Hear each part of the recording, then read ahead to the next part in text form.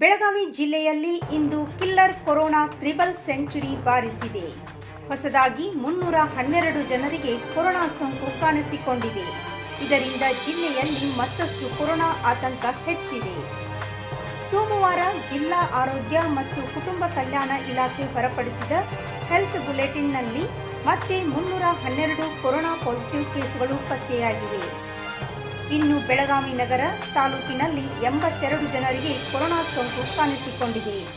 ಅದೇ ರೀತಿ ಅಥಣಿ ನಲವತ್ತೇಳು, ಗೋಕಾಕ್ ನಲವತ್ತು, ಬೈಲಹೊಂಗಲ್ ಮೂವತ್ತು, ರಾಯಬಾಗ್ ಇಪ್ಪತ್ತೇಳು, ರಾಮದುರ್ಗ್ ಇಪ್ಪತ್ತು, ಚಿಕ್ಕೋಡಿ ಹದಿನೈದು, ಹುಕ್ಕೇರಿ ಹದಿನಾಲ್ಕು, ಖಾನಾಪುರ್ ಹದಿನಾಲ್ಕು, ಸವದತ್ತಿ ಹನ್ನೆರಡು, ಇತರೆ ಹನ್ನೊಂದು ಕೊರೋನಾ ಕೇಸುಗಳು ದೃಢಪಟ್ಟಿವೆ.